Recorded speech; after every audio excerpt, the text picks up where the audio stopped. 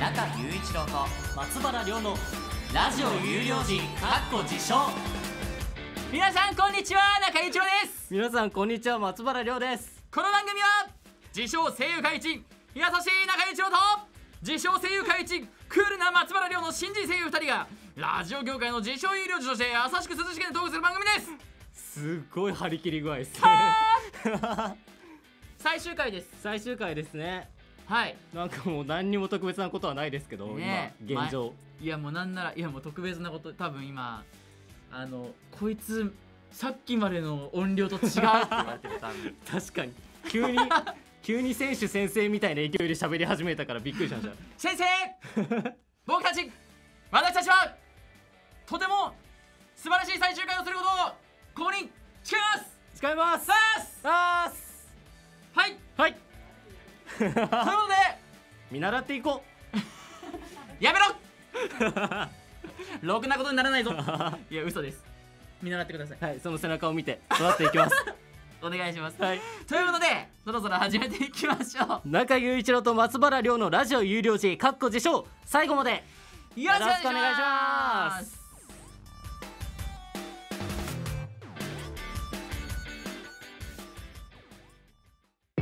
中雄一郎と松原亮のラジオ有料時かっこ自称。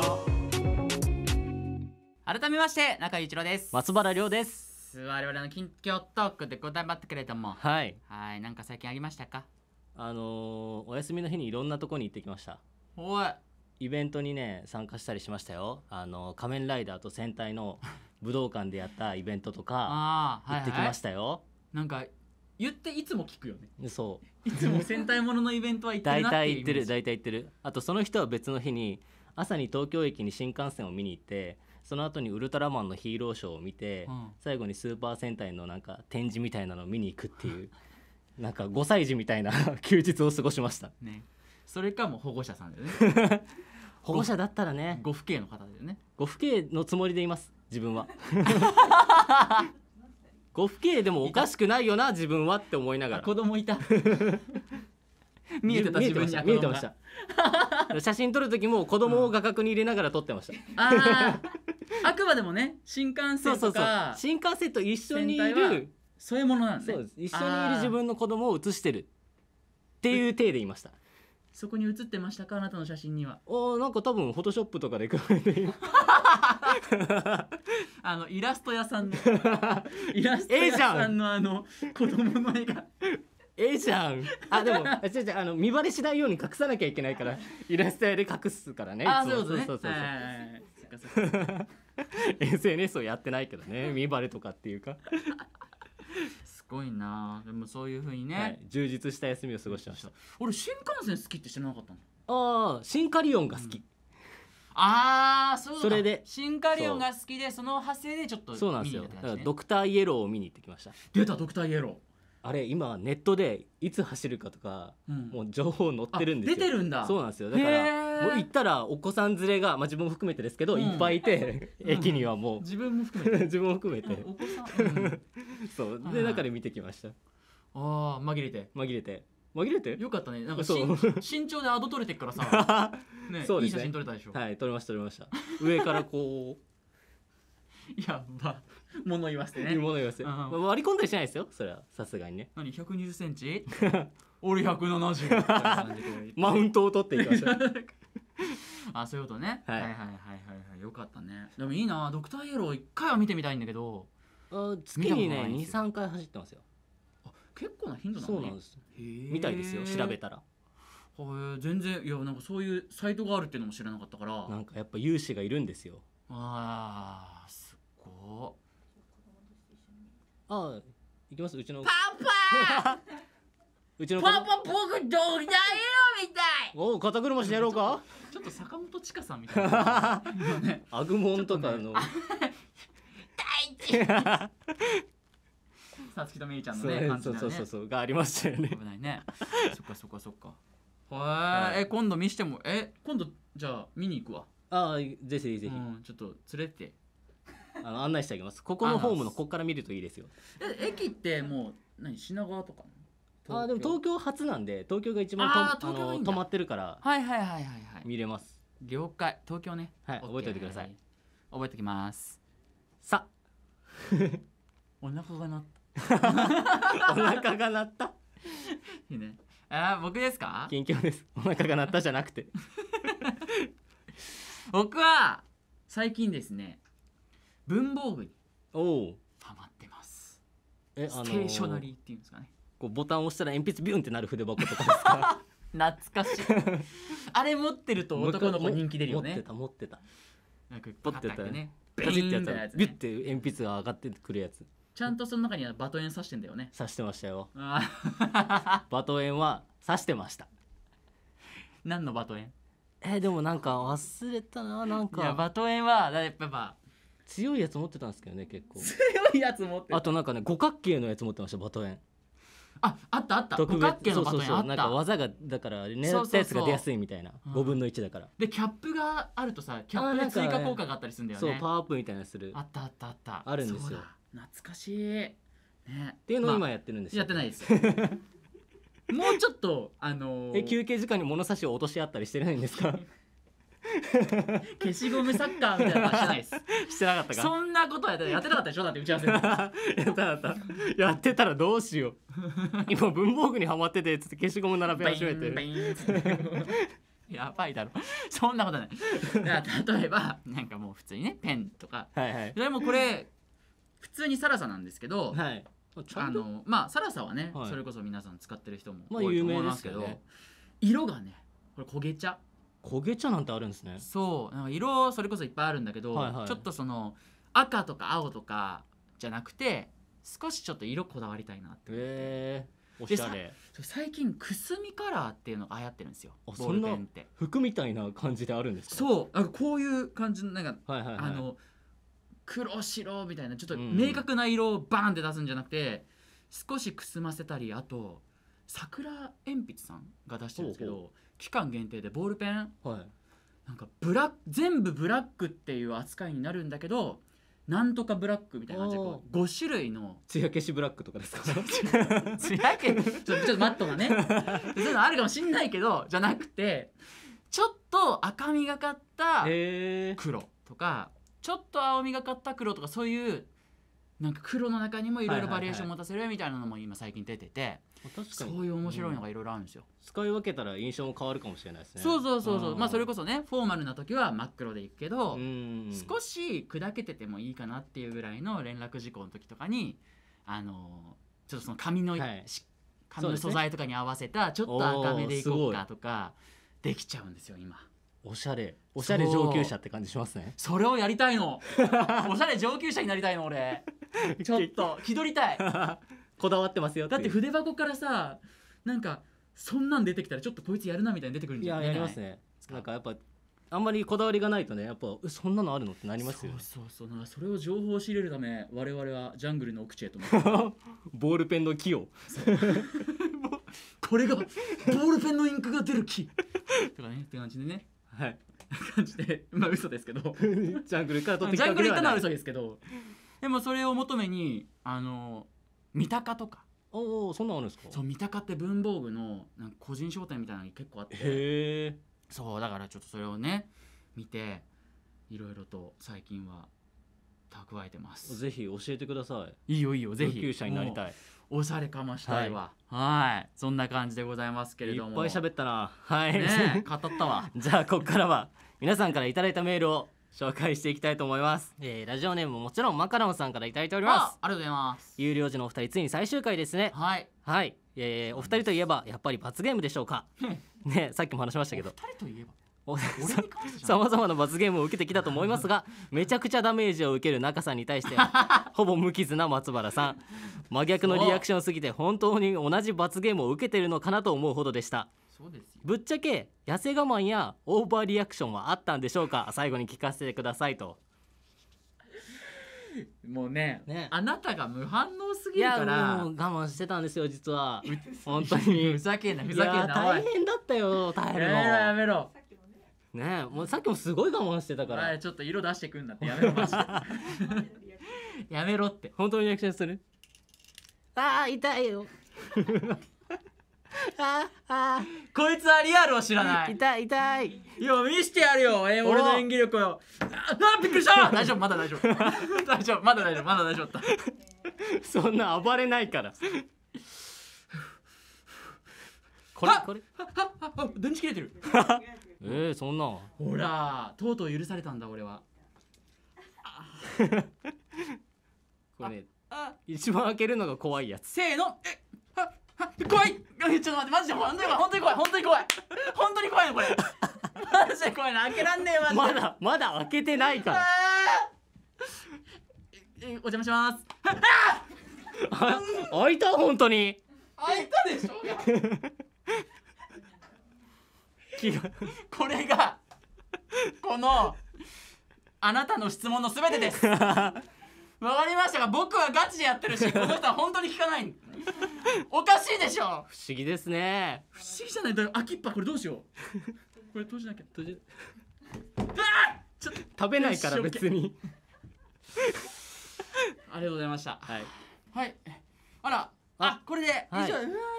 いろいろいっぱいあったんですけれども、ねおまけで読めたらそうですね。YouTube 版で。ね YouTube 版でもはい。多分やると思うんで、ぜひ見てください。よろしくお願いします。はということで今までたくさんのメールありがとうございました。中雄一郎と松原亮のラジオ有料時かっこ自称。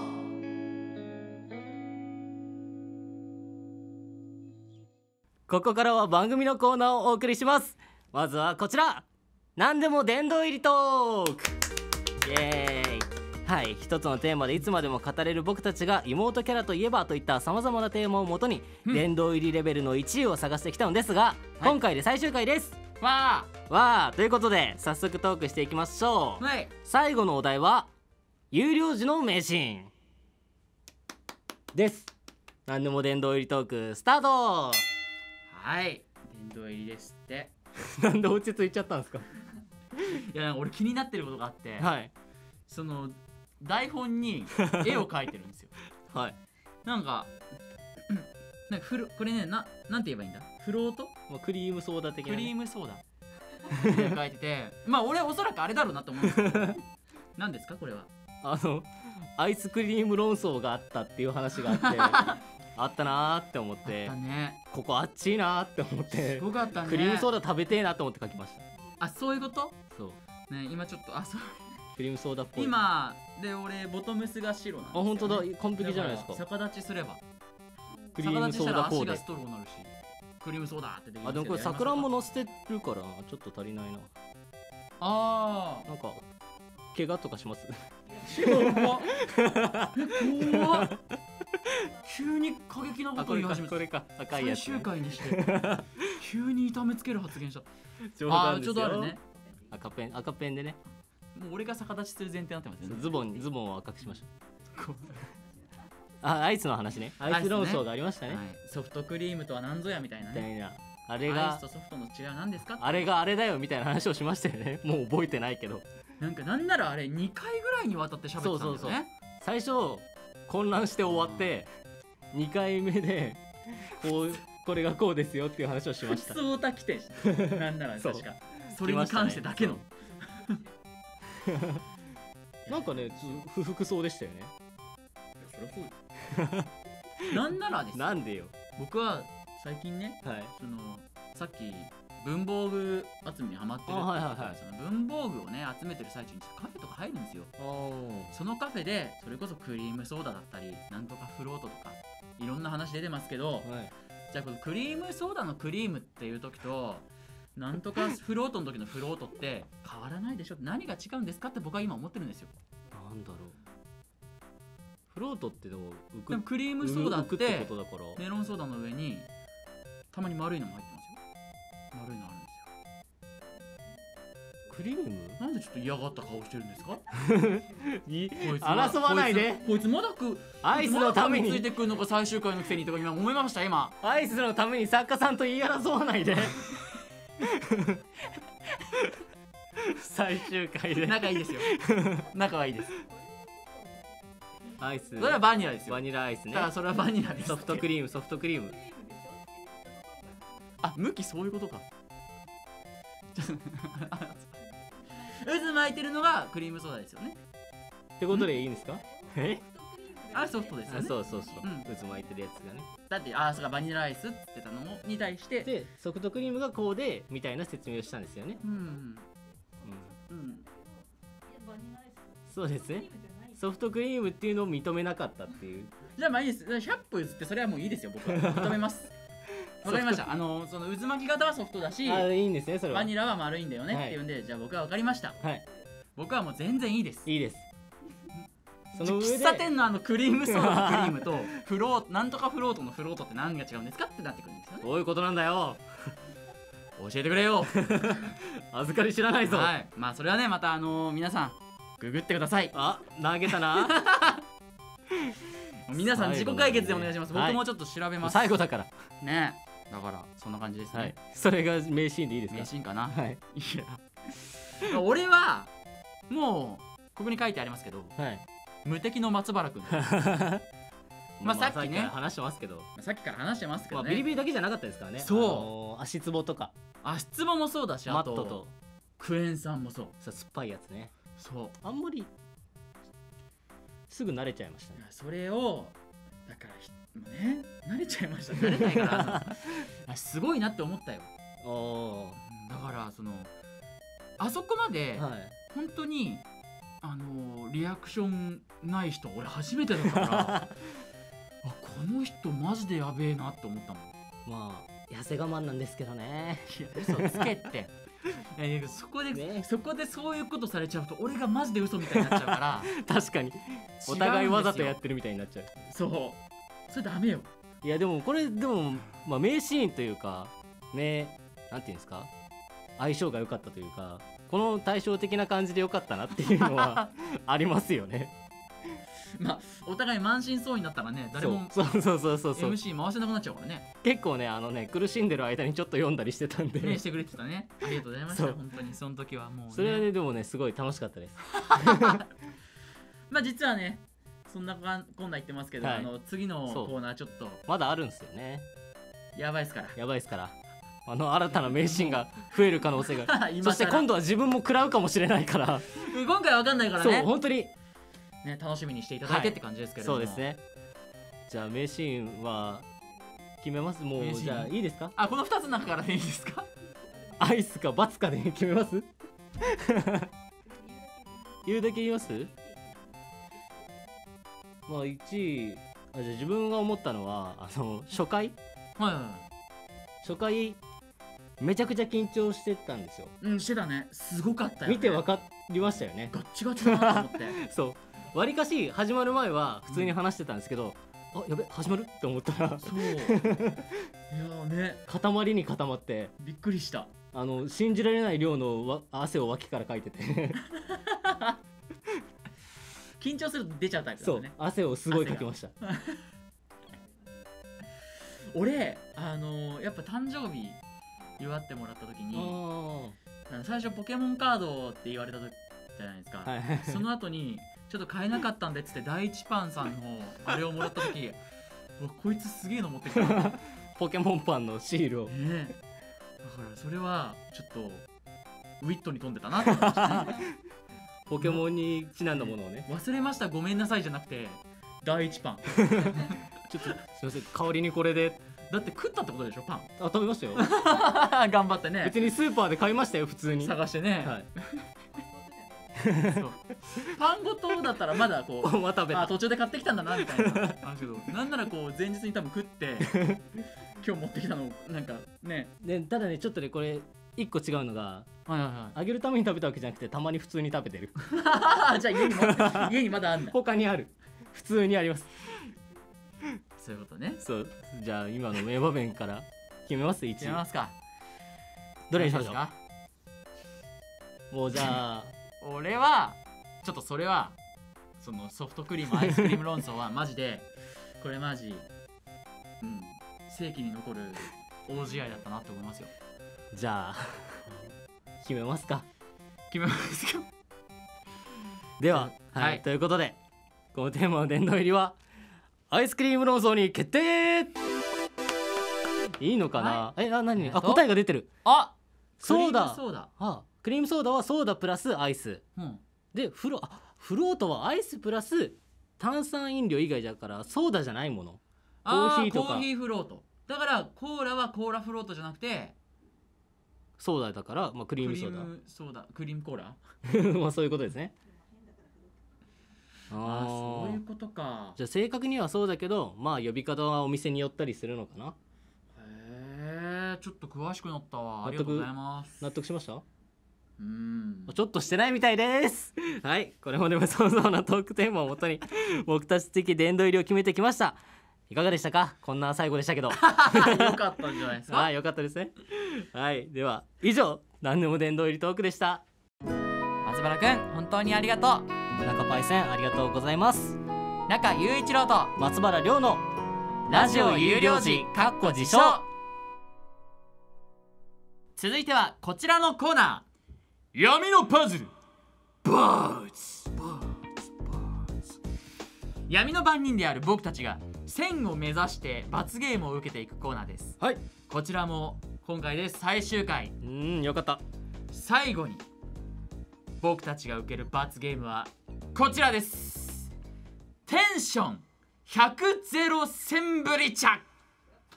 よって言ってるのはえこっち側は言ってないな。最後はテンション100ゼロゲームをしながら、はい。テンションを変えるきっかけにセンブリ茶を飲むというゲームです。はいどういうことだ？ゲームじゃねえか。闇のパズルです。はい。罰です。罰です、えーテンション100からスタートし一口飲んだらローテンションに、もう一口飲んだらハイテンションになれるというルールで行います。なんではい。100いったり0いったりこう行き来していくってことですね。それも大変なのに。はい、ただ実際それでもエネルギーを使うのにそのきっかけがセンブリ茶とはいいうことでございます、そして今回は最終回ということでリスナーの皆さんへの感謝を伝えながら100ゼロゲームをしていたいしていきたいと思います、はいリスナーの皆さんね。く区切り方間違えましたね。リスナーの皆さんへのそうですね。でございますね。なんでセンブリ茶をついや飲みながら。ーこれもうやばいよってすごい言われてて怖いんだよな。もうなんかね色味がすごい。うわーなんか下に沈殿してる。いやそう粉下流タイプだったから。では早速はい。やっていきましょう。テンション100ゼロセンブリ茶スタート。じゃあまずは感謝を述べましょうか。はい早速ですけれども。テンション今100ですよ。あそうだ！いつも100だったから忘れてたね。100だよ！イエちょっとちょっとそれサンシャインさんっぽかったけど。イエーイ！イエーイーイ！ありがとう！ボコー！サンシャイン！なんか飲むか。イエーイ飲むぜ。サンシャイン。本当に皆さんありがとうございます。イエーイ。パイな。これマジで。これマジで。あ皆さんありがとうござい。これマジでやばいなあこれはやばいこれはやばいこれは。なんで？嘘でしょ？うまいマジ。テンションゼロじゃいられないこれは。いやもう本当に皆さんには感謝しかないっていうところはあるんですけれども。本当に感謝ですよね。どうですかね？え？まあだからそっか。あありがと いやすっごいな。う本当にねありがとうございます。う皆さんのねもうそうなんです。ごこうやってね、うん、自分はねもう初めてでねこうやって番組やって見てくださって本当にありがとうございます。ね本当感謝しかないんですけどね。本当にでもまあ皆さんからの普通歌のねうんそういうそう普通歌も本当にありがとうございます。激励とかすべてを飲み込んではい。いきたいなって。ちょっともう一回飲むか。お前だーす 逃げーマジで逃げマジで逃げよいやまあこれどうですか？まあちょっと苦いかな。いやいやあのマジでテンションまあ低くてもいいから率直にこのセンブリ茶の感想言って。マジで頼む。ちなみに俺はマジでやばいぞ。なんならさっき今ピョンって跳ねてごめんなさいマイクについちゃったかもしんない。ちょっと。やべえでもみんな。ありがとう。ボコありがとう。イエーイ。そんなには苦くない。嘘つけ ということでこれはね僕たちがさまざまな罰ゲームに体当たりで挑戦してきました。はい。これで千ブリ茶を飲んだということで千の罰ゲームを達成できました。1000だけに？1000ぶりなんてね。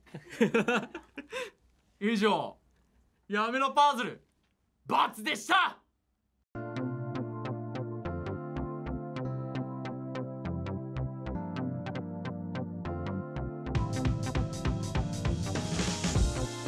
お送りしてきました中雄一郎と松原亮のラジオ有料時かっこ自称。そろそろエンディングのお時間です。この番組は A&G アカデミーの YouTube チャンネルにて翌週水曜日におまけ付きのアーカイブが投稿されます。ぜひチェックしてください。嘘だろ。はいまた文化放送のホームページにて今回の放送後期も掲載中。僕たちの写真やコメントも載っているのでぜひご覧ください。はい。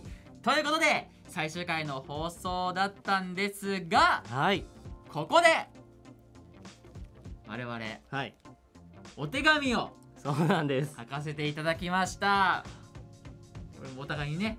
始まる前にね松原君にちょっとお手紙を書かせていただきまして、で松原君が俺に対してね書いてくれた、はいっていうことなんですけれどもじゃあちょっとここでちょっとお互い読み合っちゃいますか、はい。恥ずかしいですけれども。じゃあ読みます？じゃあどうぞ。はい。あの普通のこと書きました。えー、中パイセンへ。1年間ありがとうございました初めてラジオのパーソナリティを務めるということで相方が怖い人だったらどうしようと思っていたのですが分かっただろ？そんな心配は激気憂でした。どんな時も優しくフォローしてくれてコーナーではつい、えー無茶ぶりもお任せでやっちゃいましたが、えーすいません、もしまた何かご一緒できた際はできる男になった姿をお見せしたいと思います。そのためにも精進していこうと思います。改めてありがとうございました。はーいありがとうございます。じゃあ次会った時にはダンディ松原って呼べるように。はい。よろしくお願いします。よろしくお願いします。これ縦読み仕込もうとして失敗しました。恥ずかしいやつ。後で読んどこう。縦読みするね後で。意味ない言葉になってるけど。はい、はい。じゃあ僕からじゃあお手紙読ませていただきます。お願いします。えー松原くんへ。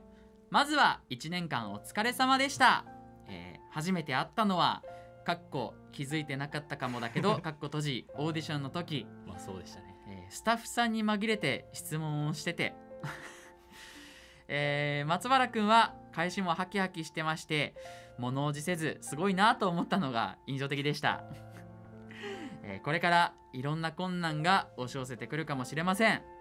そんな時はクエン酸ドリンクを飲んだ時のどっしり感で頑張ってくださいもしそれでもなんとかならなそうなら LINE 連絡いつでもウェルカムなので どうぞ。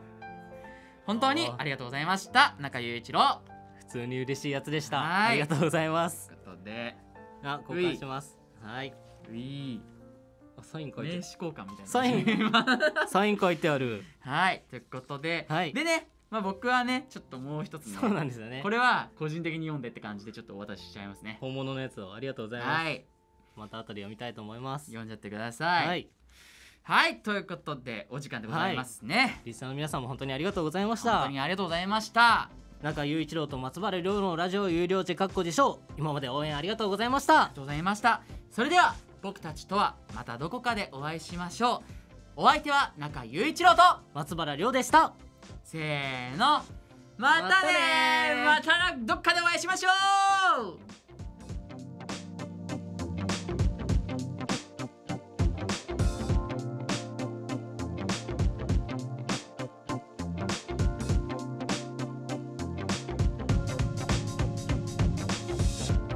改めまして中雄一郎です。改めまして松原亮です。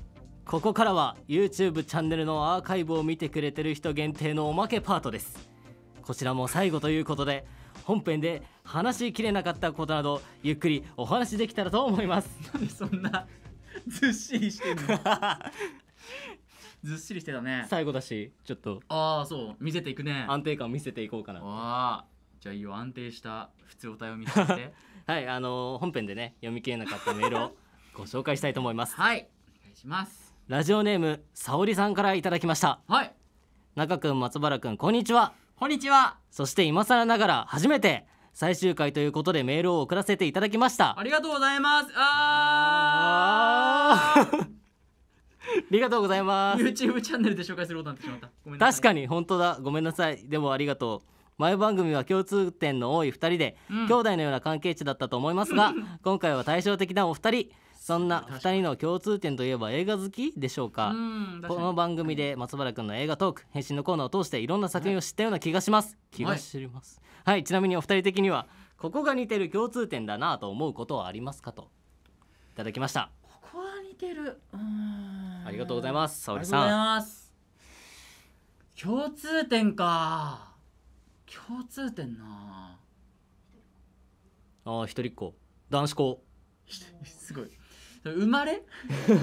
育ち？そういうところの共通点は確かにあるね。確かに。でもそれでこんな違うっていうのはちょっと面白いところですけどね、うんあとまあでもあれなんだろう。話のなんだろうな。切り出す時にはいはい。ちょっとテンション低めから入ってくるところは似てるかもしれない最初高めじゃないよねそうでどっちすねかっていうと、ね、低めでいってその後パッて。ガッてくるよね。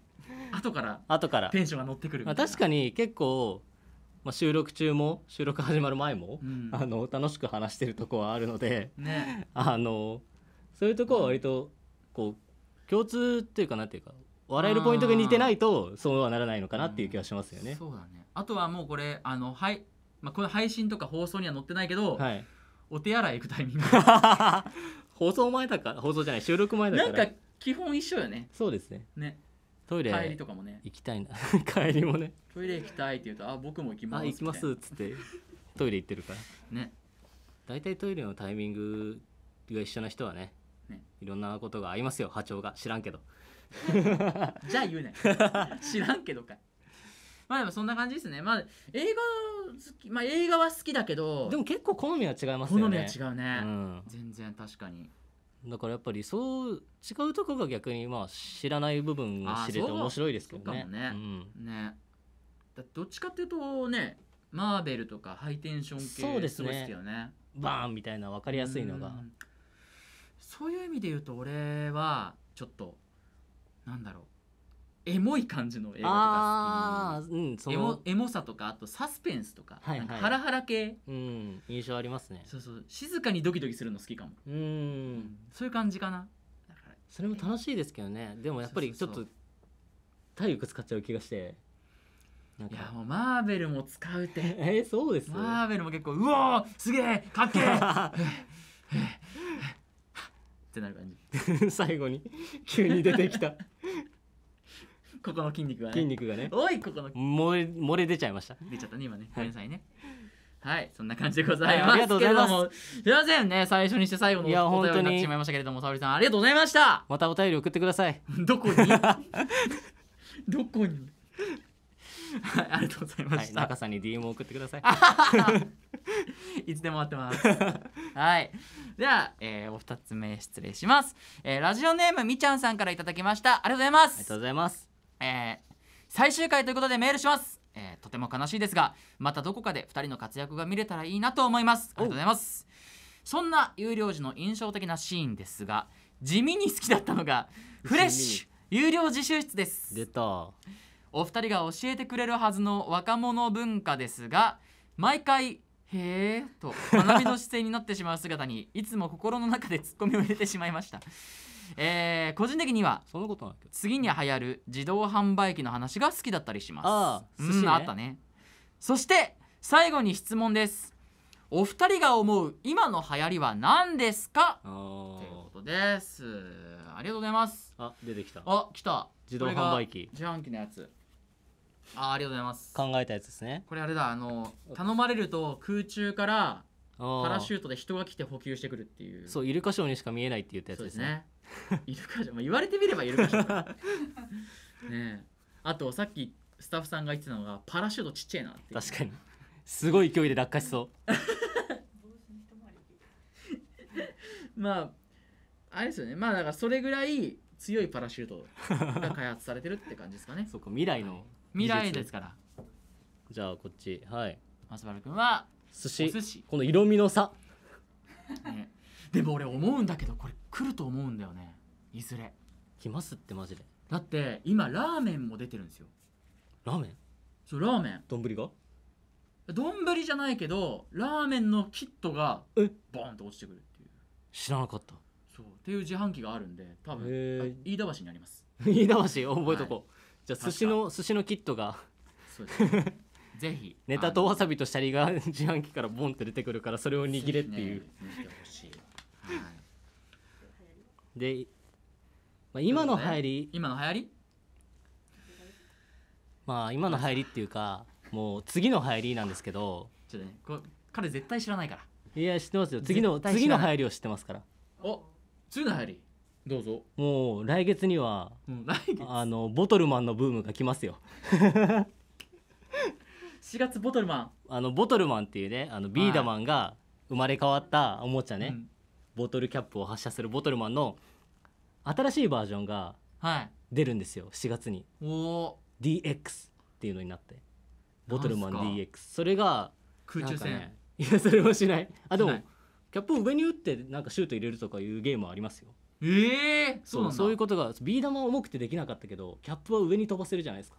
あ確かにだから結構そういうのはありますよ。へえそっか。だからそれでさらに改造の要素とかがめちゃくちゃ増えるみたいでうん。すごい楽しみです。これは絶対次子供に入ります。子供に入ります。子子供の入りが来るから絶対、まあね実際ね紛れることできるからね。そう。そっか。特殊な人だから。オッケーボトルマンね。そうそれが入りは来ます絶対。了解です。ちょっとチェックしとこうえ今の流行りでしょ？俺これね一つだけ知ってるんですよ。一つだけってわけではないですけどね。フレッシュな。んね何でもしてますけどね。何でも知ってますけど今マジで流行ってるのはタコピーの現在。あそれは。タコピーの現在知ってますよ。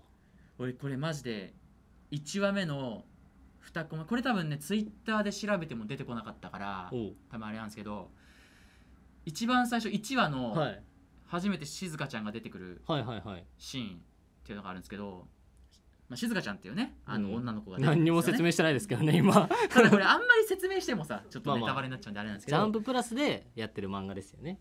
まあそうですね、はい。ジャンプコミックスでまあ今回ね上巻が出ましたけれども、あーそうですちなみね。発売されました。にどこの本屋も売り切れてます今。あそうなんだ。へはえい、昨日探しに行ったらダメだった。早いもうダメ。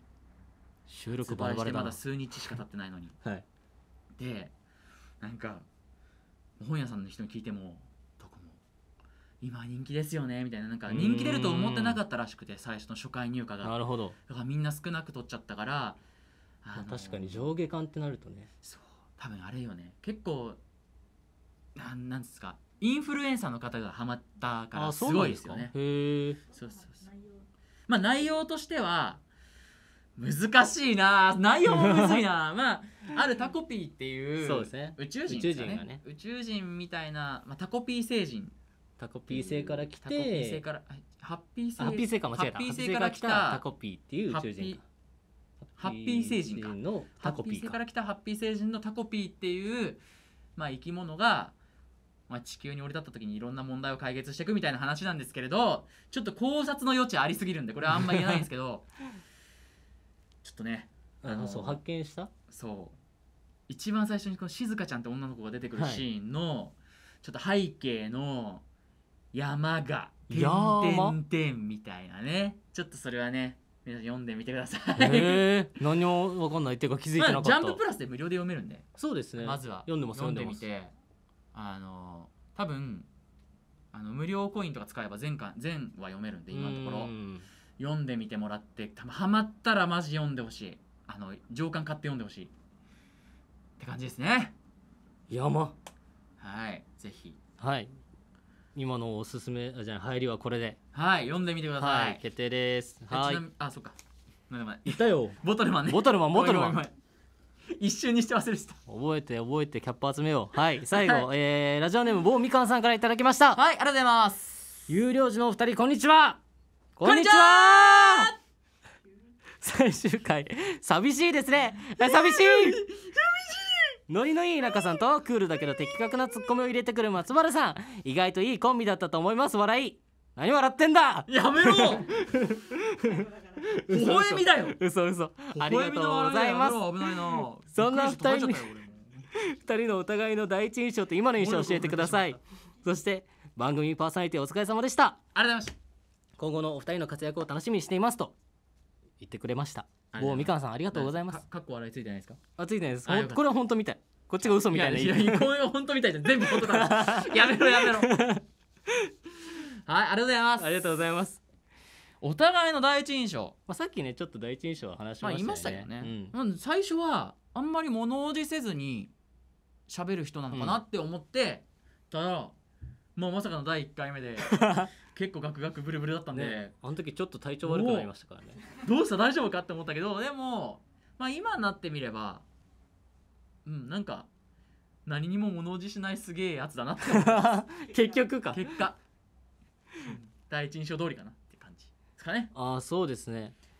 なんかなんだろうな。本当に前もちょっと言ったんですけど、うん。見てくださってる方が中さんに抱いてる印象があると思うんですけど大体そのままです その感じであのフレンドリーに接してくれるからさあのさっき手紙でもね怖い先輩だし怖いかっていうかなんかこうねそんなね。どうしようと思ったんですけどね。あすごいでも本当当に全部フォローしてくれて優しくしてくれるからすごい安心してやっちゃいましたね。ああよかったです、はい。それはちょっと嬉しいですね。なんかそんなでもねえ別に意外性は俺はないのかじゃあ。あでもなんかいろいろこういろんなことに詳しかったりとかああそういうこと？そういうあー頭悪そうに見えたけどみたいな。おいこら言ってない言ってない。一人で勝手に始めちゃった。た いろんなねことに詳しかったり趣味がいろいろあるとことかもあねそんなのあるんだっていうのはね。嬉しかったです。そうですよ、どうしたんですか急に？ちょっとセンブリ茶残ってるなと思って。ちょっといただいてもいいですか？乾杯 ははい、メール以上です。本当にたくさんのメールありがとうございます。あーありがとうございました。なんか苦しんでる間になんか出てますよ。実は点点点点え何ですか？え？あそんなのあるの？ドリダンの二人からもメッセージをいただきました。ええあら。来てます？なんですか？ほら。結局会えてないのに。はい。え両親からー、え？釣りでは勝てんかもしれん。せやけどな声優では負けへんで。またうちとやろうや。なんで関西弁なんだよ。菊池亮と そんな人？いやそんな人よ。そんな人だったっけ？あれ？まあそっちがねまあ菊池涼ならこっちは近藤祐介ですよ。コンさんえー、有料児と土の子は幻だと聞きましたが僕は実在すると信じてます。発見するまで僕は探し続けます。何の話しとんねん。会えなかったからね。何の話してんねん俺。土の子は探し続けて。あの、夢を追いかけよまあ、有料児は実はあの信じてますよっているんよ。じゃあ俺たち何なんよって話ういるのよ。俺たちユーマー扱いで。す失礼な。そう。俺この台本にもねうんやり残したことってところにありましたけど、はいはいはい。ドリダンとやり合いたかったって書いてるんですよね。もうす捨て頃ですよ。捨て頃で？捨て頃で。捨て頃でやり合おうと思ったんですけどね。じゃあ一つもならねえぜ。ああメッセージ。ああじゃあね。メッセージじゃあ。あじゃあ自分からいきますか。あどうぞ言ってくださいよ。あのお疲れ様でした。あの本当に会ってなくてそうだからあの、ちらっとねちょっと番組見させてもらったりとかした印象しかねないんですけど。そう実際会ってみてどんな風になるのあったりするのかなどうなんだろうなって思ってたんでそうそうそういう時まあでもまたどこかでお会いできたら土の子だと思ってい いただければ。ね。そう。あのなので虫取り網を持ち歩いていただきたいなと思います。嘘俺たち虫取り網じゃ取られないよ。はいなんで負すけないように。ちょっと高めのやつだ。うん。鍛えていきたいと思いますんで。あこいつかと思っていただけるように。頑張ります、はい。ありがとうございます。ありがとうございます。えー、そうね。まあ釣りじゃ負けんよ。あと俺たちは実在してるからな。えー、っとそうですね。まあメッセージまずはありがとうございます。励みになります、まあ、ただあのちょっとねりょーちんとこんさんには今回この2人でね会えなかったっていうところがあるので、個人的にじゃあやりますか。プライベートで。やりましょう。ストリートファイト？うん。場所をちょっと今度指定するんで、うん、あのどうストリートファイト？あのラップバトル、ラップバトル？うん、じ本物いるし。あのね高田の馬場とかそこら辺でラップバトルかまして戦おうかなと思います。応援よろしくお願いします。よろしくお願いします。ということでまさかメッセージ。ねサプライズすぎえる。おー言ってたサプライズ。言ってた。サプライズがあったらえ俺たちもサプライズで送ろうよ。なんえなんか何送ります？新聞の切り抜きみたいなの貼り付けてさ。作りますか。作るか送ろう。メッセージを。はい。しゃあ。ということで、えーいろんえー皆さんねご覧になってる皆さんのお便りそして、えー、りょうちんこんさん もうねコメントありがとうございました。本当にありがとうございます。はい、えーということでなんか言い残したことありますか？本当に最後よ。最後？うん、えー、なんか聞きたいこととかって書いてあるんですけど、うん、なんか次のポケモンどれ選びます？僕ねバイオレッうトわー。最初の一体何にします？いいじゃねあのににゃにゃおは。にゃおは。ああよかった。聞きたいこと聞けた。じゃあじゃあ俺何聞こうかな。えっと任天堂スイッチ版のドットハック自由買う？いやドットハック世代じゃない。うわー！このジェネレーションギャップで終わっちゃうのか？それではお時間です。お相手は中井雄一郎と松原亮でした。せーのまたねーバイバイ